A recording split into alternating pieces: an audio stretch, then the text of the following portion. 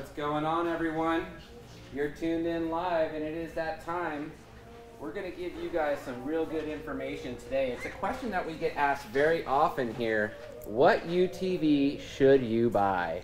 So, great question. We get it every day. Um, first off, let me start this video off by telling all you guys if you are team Kawasaki or team Can-Am or team whatever, and there's nothing better than what you own, I'm sorry, I'm gonna get you're gonna get butt hurt by listening to the facts. Team we, Yamaha, nothing beats the YXZ. Exactly. If uh, if it's YXZ or nothing, then I'm sorry. Uh, you've got some limitations, but the facts are the facts. We drive cars every single day. We drive every car made every single day. So at least we might be able to give you our opinions. Now, whether our opinions are worth anything is another question, and you guys can decide that for yourself. But what we like to do is narrow down our car discussions to two um, styles, turbo and non-turbo. Now, we don't do a lot of backwoods uh, trail riding here like you would see in uh, Florida, mud. We don't have that so much out this way. So we don't do a lot of that. So understand that maybe our opinions are based around the terrain that we have, which is everything from the beach to the mountains, dunes to racing, and um, that, that general area. Um, let's start off with some of the, how about non-turbo cars right now? so right in front of us, we're looking at a Kawi, uh, the new KRX. I would have to say the good things about this car, um, the structure, the components, um, arm mounts, double shear tabs, hardware, all of the design of the car is extremely strong. Very, um, they're very conducive to a lot of abuse for a long time and not have to touch this car. The suspension design, geometry-wise, is incredible. It has a lot of negative camber gain throughout uh, travel, which you will find in the front of a trophy truck that limits track width scrub. Um, it has a lot of bonuses. We've put quite a few miles on this car already. The only, I, I think that this car, the only thing that's a negative so far, in my opinion, when it comes to function and drivability, is it's underpowered. I think that it feels like it's got less power than most of the other non-turbo cars. Um, but the good thing is if they throw a turbo at this thing, I think that this car is going to be a massive competitor to any other car on the market, especially if they get wider, you're going to see really good things to come. Go ahead, question? Yeah, it's uh, Stevo714 says, wow, some secret Evo parts. Oh, yeah, yeah. We, uh, thanks for noticing that, Stevo. Um, our shop cars typically, if you guys look really close whenever we get to one, you might find a lot of new parts that nobody's got because most of the awesome companies in the industry like Evo we partner with and we, uh, we share cars for testing and new products. So on the KRX, um, great car, needs more power, can't wait for a turbo on this car. Um, also normally aspirated, how about a double X? So this Textron now rebranded into something else and soon to be strictly a Robby Gordon car. I'm not talking about Robby's new car. I'm just gonna talk about this car right here that's already available. This one happens to have a long travel. I'm not gonna judge long travel one way or the other on this stuff. Let's just talk about it stock. This is also another well-built car from a structure standpoint and from longevity uh, standpoint. It is along the same lines as a KRX from a structure and strength um, point of view. Hey Justin, real quick, we got yep. a couple questions here. Um, Diversified Fab asked, did they fix the engine issue on the KRX? And Chapo Racing asked, what's the top speed on the KRX? So uh, KRX top speed, I can't tell you exactly. Chapo, um, if I remember right, it's about 78 miles an hour, somewhere around there in Mexico, I think is when we were hitting the rev limiter. Um, we have not flashed the car and brought that up yet, um, so it's probably in that range. Definitely not um, fast enough for Justin No, it's kind of slow. Now, um, wait for him. Now, uh, diversified as far as the uh, engine issue on the KRX. What he is talking about is that uh, Kawi had an oil scavenging issue at one point in time. They did fix it. Um, so I don't think that that's a concern for anybody when they're looking at buying a Kawasaki, so we'll just leave that alone. I really like the chassis on this car. It was impressive. Mitch had this thing out at the cinders the other day, and he was absolutely pinned going up and down the hills, and this thing stays planted with whatever you could throw at it. Well, Chase is right. The suspension works really well in this car. It does work great stock, but after we've played with it, it's incredible. And you guys will see some before and after videos on the KRX coming from us soon. Back to the Wildcat. So suspension design geometry is incredible in this car. I think it's uh, probably the same as a KRX. Uh, other than the rear, I like the rear geometry better in a KRX than on this car. These had some negatives uh, that they had to deal with. Um, weak transmissions, uh, they had axle issues, and front rack and pinion. Uh, most of those are cured in the car through different models of axle that they went through. They did have an upgrade to the trans. So um, I would put this car slightly below the KRX when it comes to drivability, performance, strength, um, an all-around discussion of the car. It does make more power than the KRX, so it's above a KRX in that respect. Let's finish off the non-turbos and let's go talk about the Honda. We got any more questions, Mr. Boy? Uh, yes, sir. So, Army N21 KRX or Talon? Stock versus stock, drivability wise. Okay, KRX or Talon, uh, stock for stock.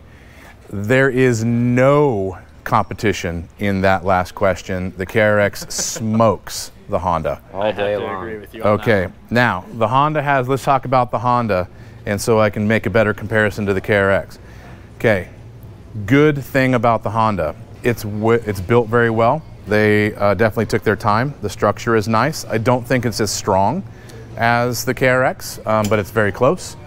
The engine in trans in the Honda, in my opinion, is the best normally aspirated non-turbo engine and trans package on the market by far. Also love the fact it has no belt. But that's pretty much where the positives end for me in my opinion on this Honda. The geometry of this car, front end's not too bad, the back's horrible. Um, it's got comes stock, stock for stock, extremely stiff, possibly the stiffest, roughest car bone stock you could possibly buy. It will kick your kidneys right out of yourself. What do we call it in Mexico there? The Honda The, Donkey? the Honda Donkey. So this car is rough to drive, and even after working on the shock and spring package, it makes it a ton better, but it still has limitations.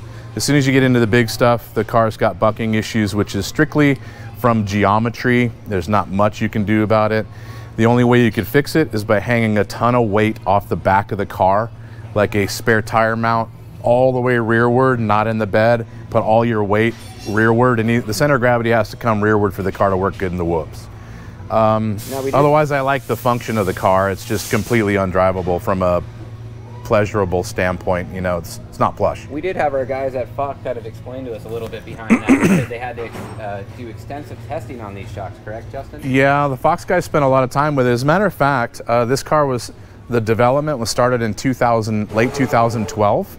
They developed this car from early 2013 to last year. That's one of the reasons why I think they fell short because they were designing a car that was going to beat everybody in 2013. well, it took them so long to get the car to market that uh, they got passed up. I've been there before. So you got a question, Mitch? Factory Elite Racing asks, which car will give me the most chicks? Let's see. I think I'm gonna go. I'm gonna go KRX with a wrap on it, and the wrap's gonna have to be a whole bunch of naked dudes, and you will get plenty of tail if you were driving that car. With that being said, I want the non-turbo favorite, Justin, from your opinion. Uh, don't we have one more to talk about? Which which is our YXZ. Oh, my favorite. Yeah, yeah. All right, guys. We don't have a YXZ in the shop today. You just have what we have. Tisk. So, positives. Wait for him. Um, positives on a YXZ. Okay, engine and tranny package is great. You can put a ton of power to it. Um, the trans and shifting is awesome, especially in some of the automatic stuff later on. Uh, it's built pretty well. Um, that's about it. I'm gonna have to stop there. If you are going to go short course racing where suspension does not matter, because all you have to do is land a big jump and then flat turn in a corner, awesome car. Awesome car, short course car. If you are going to go drag racing, you're to shove a ton of power in it, and you're going to go drag racing somewhere where there's no whoops, awesome car. But if you want to go through the rough, you want to go through the whoops, you really are asking too much for that car. It's you're never going to get the geometry to work correctly. It's not going to go through big rough stuff real fast. Again, very similar to the Honda with respect to geometry. It has the same problems as the Honda does. So hang a ton of weight off the back of a YXZ and you'll really improve a ton of its functions. All right, you're on a desert island, Justin. You only have one non-turbo car that you're stuck with for the rest of your life. Which one is it? KRX. ARX. There it boom, is. Boom, boom. There it is. All right, you guys have questions before we get into turbo cars?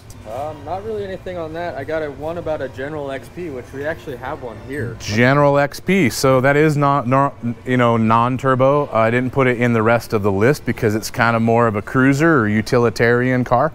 But I'm a really big General fan. I like them a lot. I think that they completely dominate over uh, Ranger.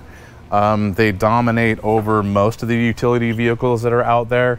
I think it's the best one made. I'll just shorten up that whole category of utility style vehicles and just say buy a general. It's built the best, it works the best, it can ride the best. The plush factor is through the roof if you want it to be. You could throw AC in it, a heater in it, you've got room.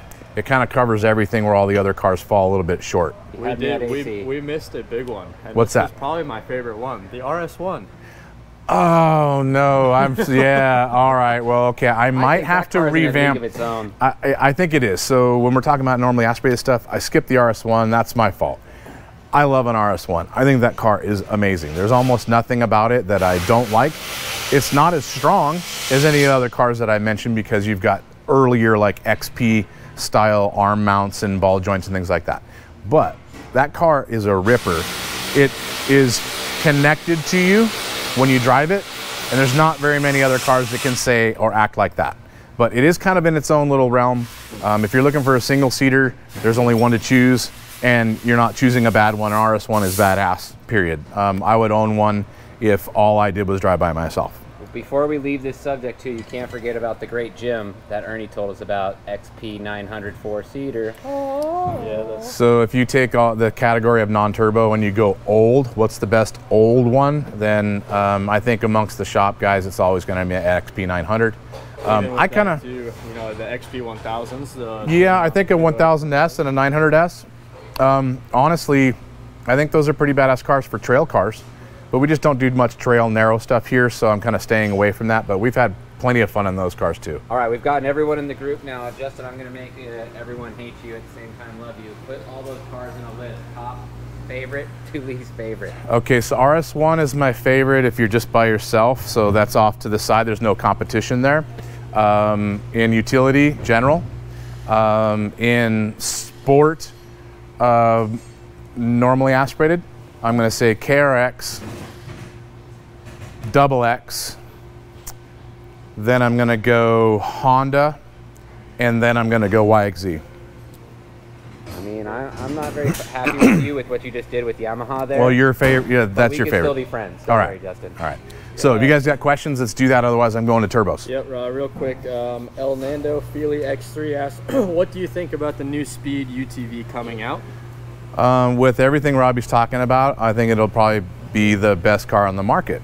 Um, but let's just see if all of that stuff actually happens. It's a lot to talk about it. It's a whole different thing to actually put it in place and have it in production. Only The- time will tell. Only time will tell. Let's just find out when the car is done and we're actually testing it and go from there. But according to the list of things they're throwing at it, it'll be the best car. Then uh, one from Crash Johnny. Do you prefer the XP 1000 regular or the XP 1000 turbo four seater? No doubt, turbo.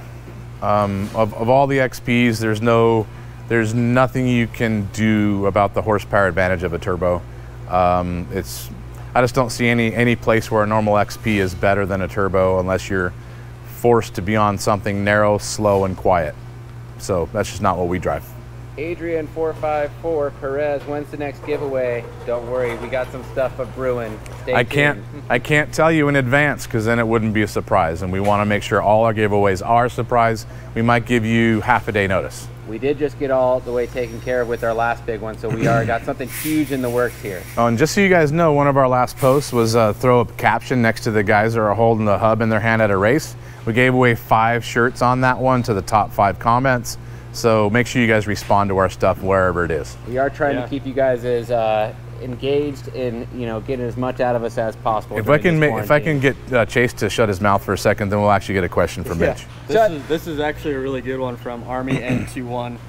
Between a Pro XP and a Maverick X3 XRC RR, which one will last longer if you leave them stock but you ride them hard? Absolutely the Polaris. So that brings me to our turbos. And I'll go into more detail with that question as we're talking about the turbo applications. So let's start off with uh, Can-Am X3s. Um, we race that car. We've got those cars as pre-runners and toys of our own. Um, we love that car currently. So there's a there's a, a pre-runner X3 right here that is also raced in some of the Sonoran Rally stuff by Adrenaline Motorsports. Um, and we've got our race car in the other building. We've got Ernie's uh, four seat Max back where we started this live feed. So we are X3 fans, but let me ignore the fact that we like them and tell you the goods and the bads. Um, best suspension design on the market. Um, functions the best through the big stuff, the little stuff. Um, everything about it, it has everybody beat in that area. Um, engine and trans, great. It's a belt, so-so, but as far as turbo cars are concerned, that's about the only choice you have. That's always going to be a belt right now, maybe till next year. Shh, didn't hear that from me. But um, room in the cab, the lay down seat design, you can see it's more like driving a sports car as opposed to driving a vertical seated truck like a Polaris. I wouldn't say the Polaris is drive like a truck, that's not what I mean, but as far as like cab is concerned, it's a personal preference. If you want to lean back, then you're going to love it. If you want to sit straight up, then you're not going to like it. And that same thing a lot of people hate. As for me, like when I am inside the Can-Ams and I'm at the dunes, I have such Mm-hmm. a hard time seeing over the front of that vehicle. Exactly. So now back to suspension being the best, but here's the negatives with a Can-Am. They they do not have very strong arm mounts, tabs. Um, bolt hole locations aren't double sheared in a lot of places. Uh, thin material on the mounting tabs. All of those things add up to a car that is. You, if you just hop in at bone stock and go out rip it and rip it hard, a lot of things are going to come loose. A lot of things are going to wear out or oblong a hole. So it's not a good car for hop in and forget it. Um, it's a great car if you're mechanical and you can do some of the additions to the car that it needs. So, you know, bulkhead, uh, double shear plates, uh, some of the components that we make to try and make the car stronger. There's a, there's a long list, but if you do all those things, then a Can-Am will last without you having to touch it very much. Um, so it's my favorite from a suspension standpoint and drivability, but it's not very good when it comes to leave it alone longevity. Now, XP Pro. XP Pro, we don't have one in the shop right this second, but let's go look at some of the other turbos or a Turbo S. XP Pro, I think, gets a bad rap um, for its looks on the roll cage, um, and maybe because of pricing, positioning for pricing in the market compared to a Turbo S and other cars. I think it's an amazing car. The suspension works great. Um, once we play with it, it's one of the best riding cars you can buy. Certainly the best riding Polaris you can buy. Um, everything about it's stronger than previous years. Um, the chassis is built much better. All the mounting points are double sheared, bigger hardware, a lot better of everything when it comes to keeping the car together. So back to your first question, which one's better if you want to jump in at bone stock, not touch it, drive it, and not worry about it? The Pro or the Turbo S, I think will last longer without being touched than an X3 will. Um, the Pro has great power, um, similar to the Can-Am. Um, same power roughly as Turbo S. Um, let's compare it. So what does it do badly? The Pro, I think it's been marketed bad and and um, and people don't like the looks of it. But I love the car. It works great. People have So, said it's a little uh, narrow, right? Oh, they are narrow, but you're gonna you're gonna have choices in that coming uh, next couple of months. What was your question? Real quick, Justin, I want to give a shout out to Brian Thorne, Brian King, George Hamill, and Gino Met. Dynojet, I'm sorry. Mm. Um, a quick question here too from Frosted Razor. Do those razors get run without the cover over the belt and clutches? If yes, then why? So most of the cars out this direction that you see a cover off is, are there going to be a car that goes to the sand dunes? The dunes are fully loaded, floored at all times when you drive the car, and belt belts are a problem. So guys will pull the cover off there. They're not going to get, it's not going to get any water, not going to get any rocks. They're just going to get some sand in there, which does wear the clutch out quicker, but at least they don't smoke belts all the time. So that's the reason why you might see covers off of cars in here because they go to the dunes. Now I would never do that in a race car. I would never do that because of rock, dirt, and water uh, will definitely be a problem. What do you mean by double shear points? So double shear, uh, let's find a good example. How about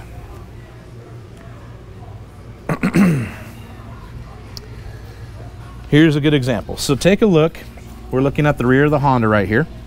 This radius rod is bolted through the spindle and it's only held on by this one mount on the spindle and the bolt. So that means that this bolt can flex, move back and forth because it's not held on on the outside. If there was another tab out here that was connected to the spindle and it was held on both sides of this rod end, and you couldn't bend the bolt because it's inside of a tab. Double tabbing or double mounting is what double shear is. You're holding it from shearing off because you're holding it in two spots. Now look up forward, just look at this shock mount, maybe from up here. you can see the shock mount's got a, a mounted tab on the outside of it and one on the inside of it. That is double shear, so the bolt can't fold off. Perfect. I got another uh, good one here. Would you recommend the IQS system or just Gold Edition's shocks on the X3? Um, I would do the internals and spring kit first because that's going to improve the ride quality. The IQS does not improve ride quality, it improves adjustability. So if you put IQS on a bone stock car, it's going to ride like a bone stock car, but you can adjust it from the dash on the fly. If you do all the internal work and the spring, then you get a better ride, then do IQS later and have a better ride quality adjustable on the dash. okay, so back to Polaris's. I think an XP Pro is a great car, it's underrated. Um, a Turbo S is a badass car as well. Probably has a little bit more love because of the looks. It's been around a little longer. It has great strength, double shear tabs on it, as before in previous years did not. Bigger hardware, 12 millimeter instead of 10. Um, larger bearings, larger trannies, larger clutches, everything about it's great. It does ride really, really nice. Um, a Turbo S is a much better riding car after you've played with it like we do than any of the previous XP Pros or XP Pro turbos. XP, I mean, not XP Pro, but um, XP Pro and the Turbo S ride very similar once they're played with. I prefer the XP Pro myself. Um, the Turbo S, as the rear suspension droops out, it'll tow out quite a bit, which makes the Turbo S a little squirrely, especially in the whoops. The XP Pro does not do that. So I, I like the Pro better. XP Turbo. Go ahead, Mitch. Uh, quick question from 150 King underscore B. Mm-hmm. like asks, does your products work on Kings and or do you guys do your magic on Kings? Yes, we do. We work on Kings quite a bit. As a matter of fact, we modify a lot of Kings. So yes and yes. Um, XP Turbo, pre-Turbo S. Great car, but it's older. Um, it doesn't ride as well as the S's. It doesn't have the strength as the S or a Pro. Uh, you're getting down to the bottom end of the Polaris lineup, in my opinion, when it comes to what's out there in turbos. Um, that's about it for Polaris Turbo, isn't it? Yeah, no, Justin, you're getting a lot of love here for uh, all the information mm. that you're giving all these guys. I think everybody uh, really appreciates it. Awesome. I love being given in. I'm going to make everyone hate them now. Mm. Line up your cars in the turbo. Okay, I think uh, that I think that if you can work on your car, the Can-Am's the best. XP Pro is second. XP Turbo third. Um, I'm sorry, XP Pro is second. Turbo S is third, XP uh, Turbo is fourth. If you can't work on your car or don't want to mess with it to make it strong enough, then I would have to put the XP Pro first and the Can-Am after that. I got a quick uh, spring question here from G Code MFG. Shock therapy versus Eibach versus Fox spring kits. Differences, goods, and bad. So a Fox spring kit and an Eibach spring kit are going to be either one kit, here's your spring kit, go for it. It doesn't take into consideration all your accessories. Or with Eibach, you're gonna get three different spring kits, soft, medium, and hard. Again, they are not taking into consideration your accessories because if you have a heavy accessorized vehicle in the back, but it's light in the front, Well, guess what? With an Eibach kit, you're going to get stiff front spring rates and the correct ones for the rear. Um, when it comes to our spring kits, we modify them according to your car, your accessories, and your driving style. So whereas others might have three options, we will have 20 to 30 options. And we tailor it to your needs as opposed to you having to deal with a kit that's too stiff because that was your only option. All right. I got another question. Justin, if you had to choose one car for rock crawling only, what would it be? Um, that's a great question. I think that right now I would probably say a Honda Talon um, set up extremely soft, really light spring rates, um, really light valving, and let the thing crawl. Um, it has some of the nicest technology when it comes to that trans and clutch engagement of anything, um, and it will absolutely climb like a goat more so than some of the other cars that we've tested in the Rock. As much as I want to laugh at you for that statement, yeah. it was amazing seeing that car working at King of the Hammers. Yep.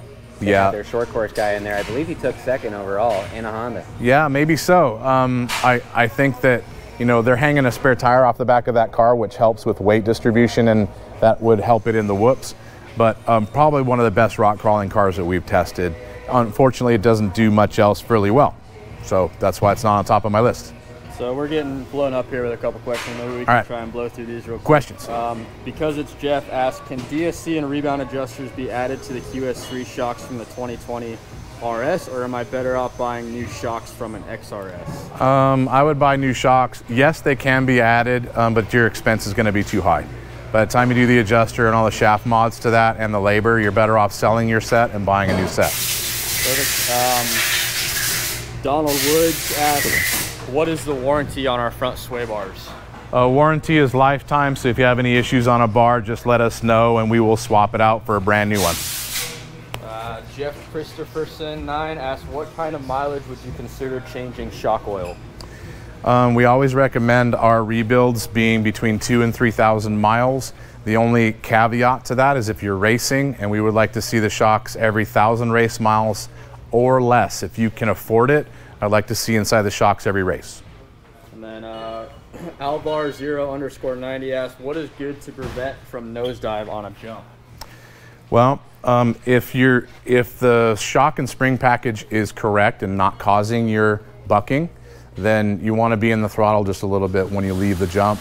Honestly, I think the biggest difference between a perfect jump and a not perfect jump is jump selection. I see guys take jumps with a nasty dirt bike lip on them all the time. You're never going to do anything about that. In a UTV, it's going to be bad for you every time. That's usually the fail videos you see of guys wrecking. It's always jump choice. Pro proper selection and acceleration off the lip. Yep. You don't have to be floored off the lip, but you better have a little bit of throttle in it at the same time, and that's assuming your suspension is correct. What's what's the number one car you would choose if you had a family or just straight doing dunes? Um, I would do an XP Pro, uh, or I would do a Can-Am X3 Max. Uh, the Max has more room. The Pro would be less maintenance. And if you want to keep your wife happy and have a closed cab, that General, boy howdy. Yeah, it's not going to be the fastest car, certainly in the dunes, but that thing will go anywhere you want to and all your buddies uh, when you're following them up in the mountains or in the dirt. And I honestly would like to own a General with air conditioning and then a race car. I would kind of be the best of both worlds. It's pretty impressive to see those General guys keep up with everyone. It's true. Yeah. I got another one from uh, 150 King underscore B. I like your name, dude. That's awesome. mm. um, real quick, if you guys did your magic on a set of Kings and a set of Foxes, would you guys recommend one over the other or maybe some insight on what may be the differences? Info is much appreciated. Okay, I recommend doing the Foxes. We can always make a Fox work better. Uh, the re and I'm, I'm just talking about UTVs here. We're not talking trophy truck shocks or anything else. The reason is two things. One, I don't think that the design of the bypass piston in a King can actually be tuned as easily or well as some of the systems in an external bypass, Fox, or an RC2. Um, also, the Kings typically do not have hard anodizing on the shock bodies and some of the other components. For instance, the piston in a King is raw aluminum, whereas, and the adjuster is as well. So whereas in a Fox, you're gonna find hard anodizing throughout every component in the whole shock, so they will last longer. I prefer the King, um, I prefer the Foxes. So I got a, a serious question from SoCal 5150. So I, how do I how do I act serious? Uh, while in Baja, do you prefer corn or flour tortillas, and which carne asada or al pastor? People want to know. Flour, and I prefer pork on a fork. Um, what is that? That's uh, Adobada. Uh, uh, adobada. Adobada, that's yeah, favorite. man. If I could find an adobada that's rolling right in front of me on flour, that's my preferred. But you can't ever go wrong with carne on anything. And when you're hungry after pre-running with one beer, pff, any taco is good taco. Uh, Eldon, Eldon Chris 82 says, I did the RS RIS kit in Glamis. He loves it. It was stock now, and I have a cage and seats. Do I need to have my shocks redone? You won't have to redo the shock internals, but I would suggest that you adjust your ride heights, uh, measure the car ride height with you in it, and follow our instructions for what we suggest. If it's sitting low, then adjust the ride height by adding preload. You should be fine. And then uh, one more from Frosted Razor 10 asks, if I ride mountain trails and through river crossings, is the RZR Turbo S a bad option? Max speed about 45, 50 most of the time. I don't think it's a bad option. The only thing that would be bad about that car is if the trails are really narrow. So if the trails aren't narrow, I'd run my race car through there. Whatever I can get to do the best and softest and not feel any of that stuff uh, wouldn't bother me a bit. So Turbo S, yes, unless it's really narrow. Hold on, you guys. We got somebody requesting to come in live with us. Oh, and he disconnected. Ah, chicken. All right, first guy to go live gets a t-shirt. Oh. All right, first, Oh. first live question. What's your question people. there, Mitch? Uh, Dynojet Mass, Matt asked 64 inch for 72. Uh, on the player stuff? Uh, either that or maybe both. overall. X3 or- Okay. yeah. All right. So um, I think that the original 64-inch stuff with turbo um, did did drive like it was narrow, and you could roll the car pretty easy. Um, get into a Turbo S, it's a lot more stable. But I'm going to give you one um, reason why that's not 100% true. XP Pro. The XP Pro does not drive like it's a narrow car, and it is next to impossible to roll that thing. So I think it's car dependent on that. All right, we got our first live viewer, Dune Syndicate. We're waiting for him. Justin, I'm going to go ahead and hand this over to you. All right, where you at, buddy? There he is. I got a view of your forehead. Nice glasses. Yeah, thank you, sir. Hey, you got a question for us? Yeah, I want to know on the uh, the IQS, uh, does that basically take the adjusters when you're in the medium, put them right in the middle, and then when you go to hard, does it take the high speed and the low speed all the way max? And then when you go soft, does it do the the opposite? That's exactly right. So uh, the IQS set all the way soft would be the same as having both of your high and low speed compression adjusters all the way soft. When you have the IQS set for the middle position, that would be like having two full turns in both. And having it in the hard position is exactly the same as turning both of your compression adjusters all the way stiff. One thing is different though, the IQS system flows 10% more oil than the factory compression system does, which means all the way in the soft position is softer than your DSC adjuster is, and all the way in the stiff position is stiffer. But yes, to answer your answer your question, it's the same as doing those adjustments like you just mentioned. Awesome. Well, I appreciate it. Hey, cool man, we'll get you a T-shirt. So make sure you uh, you know private message us your your uh, color of choice and size. DM us your shirt size and your address, brother. We'll get that out to you today. I appreciate it. Have a good one, dude. You too. All right, well, we're coming upon our margin here. Yeah, let's quit this video unless you guys can come up with some really cool questions. Hopefully, I didn't piss everybody off with my opinions on cars. I got uh, I got two more questions here. I think we can end it on that. One is a pretty good one. Um, Jets Duner, Jet Set Duner is uh, what's your favorite front end gusset kit for the X3? I'm gonna go. I'm not gonna narrow down to one. I think you should probably go with a TMW, an S3, or a Geiser. Uh, I think that Sean's making one, right? Yeah, yep, if they not, are. then okay. Then those would be my three top choices See a lot of TMW in here. Yeah, a lot of TMW comes to the shop, and a lot of guys like that. We have that kit on our on Ernie's Max. Yep. Perfect. And then uh, JJ Crods asked, when are you guys restocking on the aluminum radius rods for the Can-Am X3? They're coming in this week, so by Friday, if they're not on the site, then they'll be on the site on Monday. Perfect. All right, you guys good? Let's cut it off.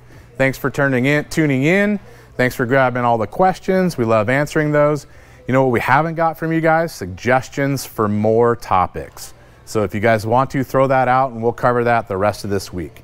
Thanks for tuning in. If you guys have any questions on any of our products, go to our website, shocktherapyusa.com, or give us a call at the shop at 623 217 4959. Thanks for watching.